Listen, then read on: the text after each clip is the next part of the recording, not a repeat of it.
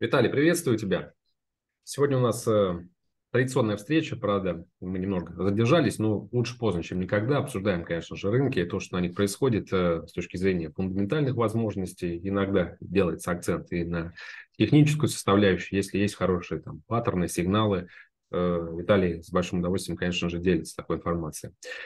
На рынках жарко. То есть мы изначально, если вспомнить нашу прошлую встречу, готовили вас, друзья, а, к тому, что волатильность будет только усиливаться. Правда, прежние ожидания были обусловлены тем, что мы э, ориентировались на действия американского регулятора, то, что он будет задавать тон рынкам, будет э, активничать с процентной ставкой, ее повышением, и это будет провоцировать э, более интенсивную динамику долгового рынка, доллара, рынка драгоценных металлов, ну и прочих финансовых активов. Ну, конечно же, было почти невозможно, почти невозможно предположить, что вот этот э, финансово-экономический кризис, который даже по всем канонам таких исторических реалий давно уже назревал, он должен был произойти, но всегда мы как бы комментируя его перспективу, откладывали, что это может произойти, возможно, к концу года, может быть, позже, если будут индикаторы, подтверждающие, что американская экономика в рецессии, и еще вот эта рецессия на фоне жесткой монетарной политики, все это должно было бы реализоваться какое-то падение американского фондового рынка. Но проблемы начались в банковском секторе. И э, причем мы сейчас наблюдаем за ситуацией, которая развивалась в далеком 2008 году, ну, в похожем формате, когда один банк за другим э, отчитывались о проблемах с ликвидностью и после признания проблем сообщали о своей финансовой несостоятельности, неплатежеспособности и прекращали свою деятельность. Первый банк был Silvergate, это сейчас уже, а прошлое не будем вспоминать, давайте работать э, с тем, что есть сейчас. Э, он больше, конечно, затронул криптовалютную индустрию и когда э, лично я даже на своих брифингах комментировал последствия банкротства этого банка, все равно делался больше акцент на рынок криптовалют, учитывая то, что это кредитор для многих криптовалютных компаний.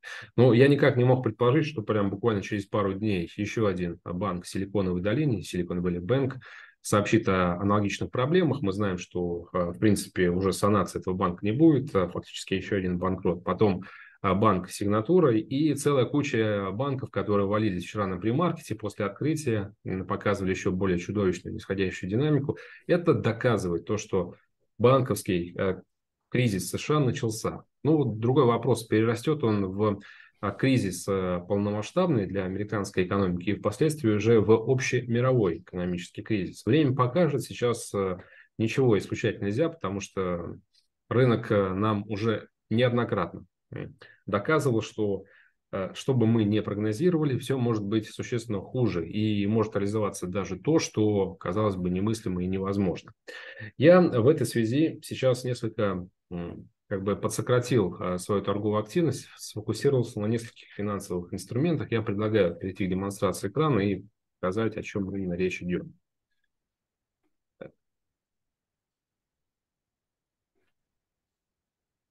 График видно уже, да? Да.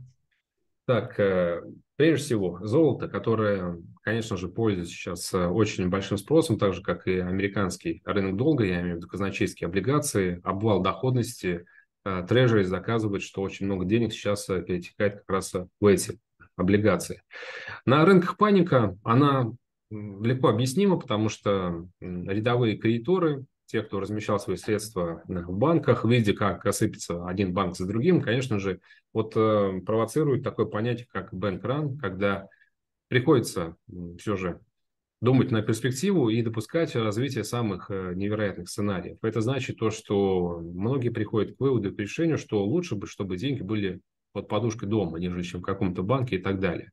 Поэтому эм, Федрезерв, который накануне провел экстренное заседание, я сегодня вот пытался прям тщательно мониторил все э, СМИ, сводки информации, найти что-то реально стоящее, что можно было сказать, эх, ФРС молодец, а? вот держит руку на пульсе и э, поможет э, банкам. Но не нашел ничего, кроме как анонсированного э, пакета представления доп. ликвидности на 25 миллиардов долларов, которые многие расценивают как вообще капля в море. Этот пакет не может помочь даже ни одному банку даже из тех э, маленьких банков, которые уже сообщили о своем банкротстве. Но, может быть, ФРС считает, что худшее уже позади, хотя почему? Мне кажется, худшее еще впереди, учитывая, что сегодня ситуация с снижением капитализации многих банков может повториться, и чем все это закончится, ну, никто не знает.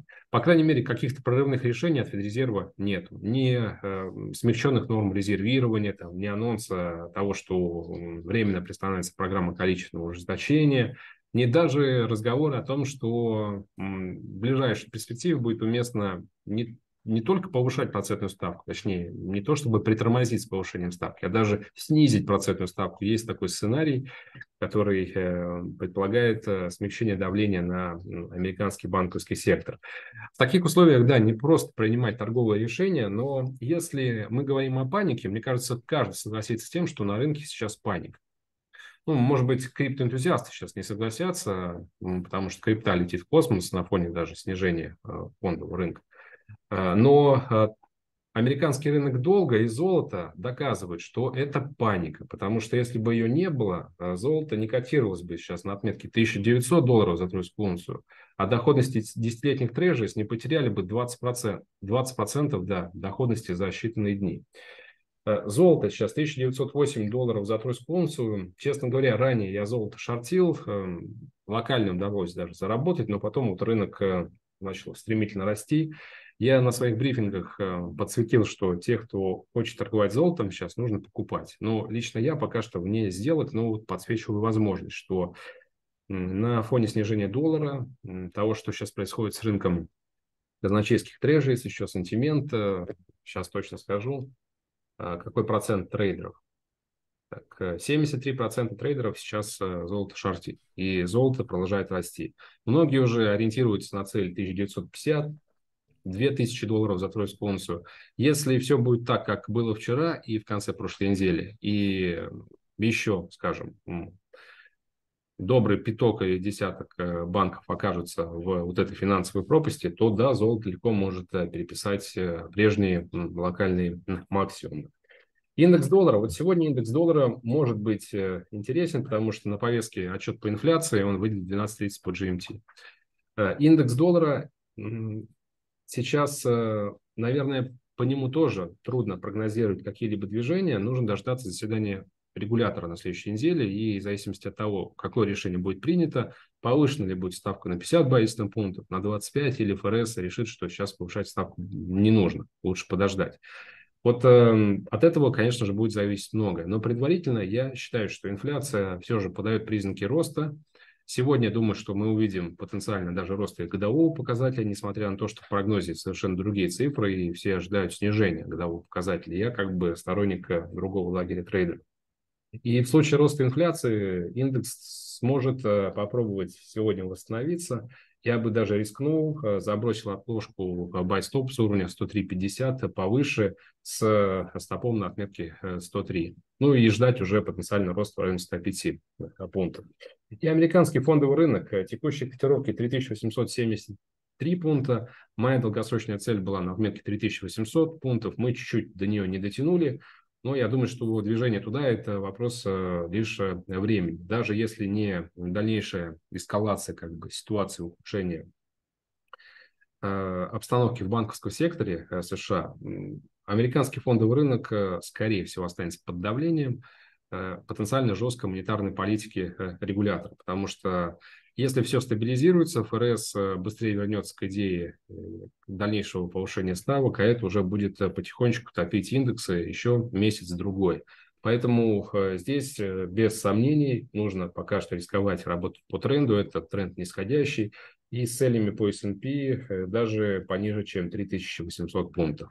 Короче, золото вверх, индекс доллара пока что тоже как э, инструмент, относящийся к категории защитных активов, еще с уклоном на предстоящий релиз по инфляции, может показать также положительную динамику сегодня и по э, эталону риска американский фондовый рынок вниз. Виталий, слово тебе.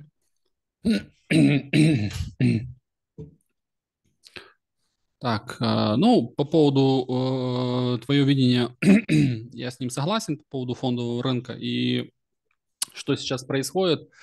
То, о чем мы говорили, что кризис э, будет, скажем, на конец 2023 э, года, да, я об этом говорил, и, и, и ты говорил э, о рецессии, но, так скажем, это только репетиция, да, вот этот банк, вот посмотрите, что произошло, какой-то, ну, это, так скажем, топ-16, да, банк, 200 миллиардов, и вот за один день, за два его уложили. Я еще читал довольно интересную статью, а, у меня, кстати, на телеграм-канале публиковал. Это англоязычная статья с сайта Zero Hedge а, по поводу того, что этот банк топили так как-то, так скажем, э, спецом, да, если не ошибаюсь, JP Morgan такой подлил, такой, о, забирайте деньги из банка, да, ну, вот этого.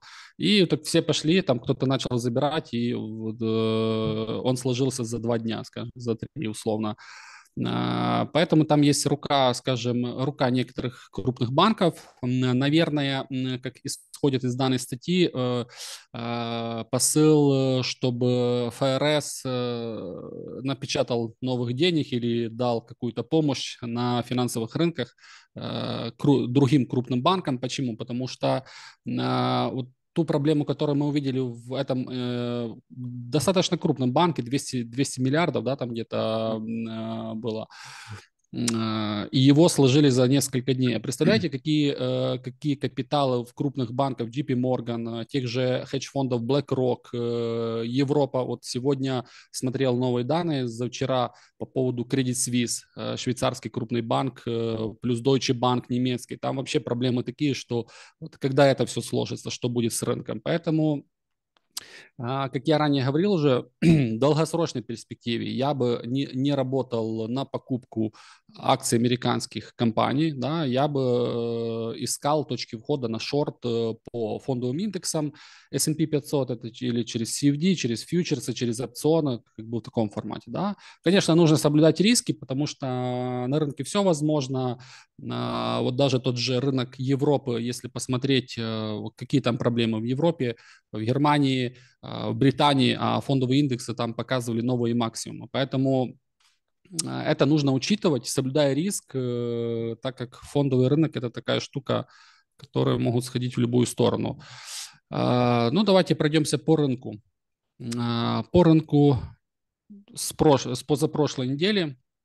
Давайте пройдемся то, о чем я говорил по поводу э, биткоина. Да? Еще две недели назад вот мы с тобой общались вот где-то на этом уровне.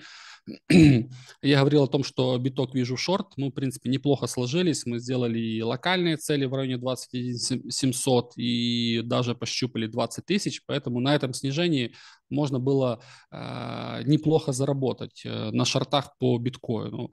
Э, вот эти покупочки я пропустил, так как они начались, э, так скажем, на выходных. И я э, акцентировал свое внимание в основном на фондовых индексах. Да? На текущий момент по биткоину я вне рынка нахожусь, возможно, какое-то коррекционное движение. Мы по биткоину и по эфиру вот четко видно подошли к э, сильным уровням сопротивления. А, биток это 25 тысяч, 24-25, э, эфир э, в районе 1700. Возможно, какое-то коррекционное движение, но я пока вне рынка нахожусь, как уже сказал. Это если подытожить. По поводу фондовых индексов. Две недели назад я, как и ты, давал рекомендацию на шорт э, данного индекса. Мы локально там падали, но э, было дальше коррекционное движение э, в район э, 40-80, да, плюс-минус. Оттуда я давал э, новые рекомендации, так как у нас на прошлой неделе битва аналитиков, э, скажем, не получилась. Э, я на своем YouTube-канале, вот здесь специально сделал выпуск для тех, в связи с тем, что не получилась битва э, по поводу фондовых индексов, давал шорт. Э, это было где-то в среду или четверг, если не ошибаюсь. S&P 500, NASDAQ, Dow Jones, DAX, FTSE 100 британский и особенно очень красиво пошли европейские рынки вниз. Давайте посмотрим, что там было. Вот по фути 100 самое, самое красивое падение, как мы видим. Вот здесь э, я еще с тобой две недели назад давал рекомендацию на уровне где-то примерно э, 7 900. И обратно они там локально падали, но сделали еще до накопления позиций крупные, да, и э, уже на этой неделе, так скажем, э, точнее на прошлой неделе, на этой добили пониже. Угу. Что касается новых идей каких-то, да, на рынке, вот чем примечательно было э, прошлой неделе, позапрошлой неделе, э, тем, что вот допустим, тот же FTSE 100 британский, смотрите, какое хорошее накопление, можно было понять, что с этого накопления возможно, уйдут вниз. Да, мы на этом а, заработали. Дальше. Что у нас на текущий момент? У нас есть падение, да, и нужно ждать каких-то новых, скажем, нового топлива на рынке, чтобы понять, а, куда игроки дальше планируют работать. На продолжение снижения или, или будут откупать вот эту всю просадку, так как вот если вчера посмотреть э, по Америке, то а, некоторые акции, э, особенно финтеха, неплохо откупали. Да? Даже тот же S&P 500, он в моменте и рос утром, и падал э, в обед, да, и в итоге закрылся в ноль. Э, поэтому если брать какие-то новые идеи, я бы дальше рассматривал на шорт э, фондовые индексы, конкретно уже э, Европу я бы не трогал, а вот присмотрелся к США, это S&P 500, NASDAQ, но вопрос, будем ли мы падать с текущих, у нас очень маленькое накопление. Я бы, скажем, более такие надежные шорты ждал где-то в районе э, 3950, возможно, еще там будет какой-то ложный вынос в район 4000, да, вот как-то вот так вижу по Америке. Плюс, э, как ты отметил по поводу инфляции, что ты пока остаешься, скажем, таким э, ястребом, да, по поводу, что mm-hmm. Э, и ставки будут высокие, э, но э, уже я вижу если смотреть, смотреть прошлую неделю, то все закладывали раньше, еще там в начале прошлой недели ставки, там вероятность поднятия на 0,25 это было где-то 30%, да, потом где-то среда-четверг, когда вышли э, нонфарма, да, э, поднялись, э, поднялась вероятность поднятия ставки на 0,5 до 70%, да, и сейчас она уже пошла в обратную сторону, потому что понимают все многие, что а, агрессивное поднятие ставки будет добивать рынок. А, проблемы, как мы знаем, начались э, в банковском секторе, но они и есть, они никуда не исчезли. И в связи с поднятием процентной ставки, я недавно тоже публиковал э, интересную информацию, что вот это поднятие ставок, оно приведет к новому кризису. Поэтому вопрос времени, и будем ли мы падать с текущих, имеется в виду вот, в текущем месяце дальше, э, или я еще не исключаю вариант, что мы можем э, тестировать э, прошломесячные максимумы, то есть это в районе где-то 4200, 4300, 4400. Сегодня есть проблема, завтра забыли, скажем, откупили рынок, это не проблема, да. Поэтому очень осторожно с работой с стоп-лоссами. Вот будет где-то в районе 3950, Здесь я бы э, набирал шорт по индексу S&P 500, э, добирался э, или даже присматривался, если будет вынос с этой зоны с общим суплосом где-то в районе 4, 4.20, да. Вот если будут ломать вот, вот этот уровень зону, то я бы уже, наверное, фиксировал, фиксировал убыток по, по шорту. Что касается рынка золота, рынка золота, что касается. Я аналогично, как и ты, мы шортили в прошлом месяце. Текущий месяц я практически не торговал золото. Почему? Потому что работал в основном с фондовыми индексами, но э, ранее еще предупреждал, что если кто торгует среднесрочно, долгосрочно, по золоту набирать лонги.